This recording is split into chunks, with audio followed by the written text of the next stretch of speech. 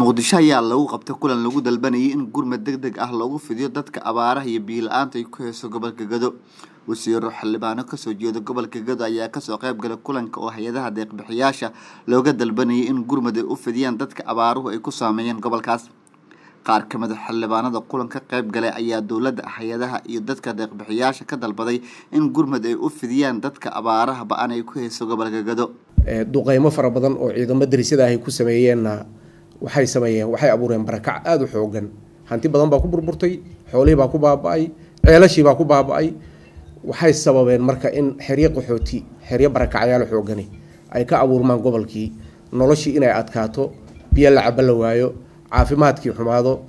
Marka dadka soomaaliyeed dadka soomaaliyeed ee wax heli kara qof kasta oo soomaaliya wax heli kara iyo muxuu ahaa international community-ga ama hay'ada bahweynta caalamka ee caawisa goobaha duruufuhu ka jiraan. Waxaan ugu baaqaynaa meeshaas gurmad deg degay u baahan tahay gurmad xilligiisii joogay u baahan tahay. Gurmad hadduu dib dhaco dhibaatadu sii ballaaran doonto ay u baahan tahay. Midda labaad sida la sheegay dowladda goboleedka dowladda federaalka qeybaheeda kala duwan sida qeybta humanitarianka qeybta biyaha uu nagala joogaba wasiirkeenna. Waxaan cod dheer aan ugu sheegaynaa meesha inay u gurmadaan oo dadka waxay la qaban karaan ay la qabtaan.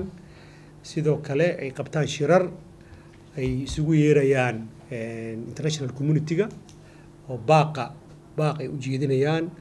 Haddii kuna qasbayaan inay degaanka ay ka shaqeeyaan ayaga haddii mandate siiyey waddanka inay ka shaqeeyaan. Marka maadaama dowladda ay ay mandatekaa siisay waa in hadba meeshii daran loo diraa aysan ayaga ay meeshay rabaan aysan aysan ka shaqaynin ama dadaan waxbaba baalki maxal dhib haysanin aysan kudul ku dul wareegin. Dowladda baaqaasaan u diraynaa. Ugu daran oonkiibaa ugu daran warihiiyo qalalay biyihiiyo isbedelay meel biyo iska bedeleen baadkiina waad garan kartaan. Waxaan leeyahay ugu horeyn ilaahay subxaana qaadir inuu na siiyo madar kheyr qaba. Tan labaad waxaan ugu baaqayaa jaaliyadaha ganacsatada hay'adaha ka shaqeeya samafalka in ay gurmad la gaaraan gobolkaas guud ahaan gaar ahaan gobolkaas gado oo laga soo sheegay dhibaatada aada u xooga badan ee daran laga soo sheegayo wasiir ku-xigeenka wasaaradda damarta iyo biyaha ee xukuumadda federaalk soomaaliya xildhibaan cusmaan libaax ayaa sheegay in hay'adaha iyo shirkadaha biyaha ay si deg deg ah gurmad biyo dhaamin ah uga fidiyaan dadka abaaruhu hayaan. Hay'adaha kuwa biyaha ka shaqeeya kuwa biyaha maamula iyo kuwa kale humanitariumka kale ah in ay gargaar deg dega la gaaraan goboladan saddexda ah gaar ahaan gobolkan gedo oo hadda dhibaatadiisa mar walbana soo gaarayso. Maxamed cabdiqaadir hilaal wasiir ku-xigeenka wasaaradda batroolka soomaaliya ayaa dalbaday in si deg deg ah loogu gurmado si ay dhigjoojin ugu noqoto dadka abaaraha ba'ani ay ku hayaan gobolka gado. Marka waxaan u baahan nahay in si macno leh loo wajaho arrintan.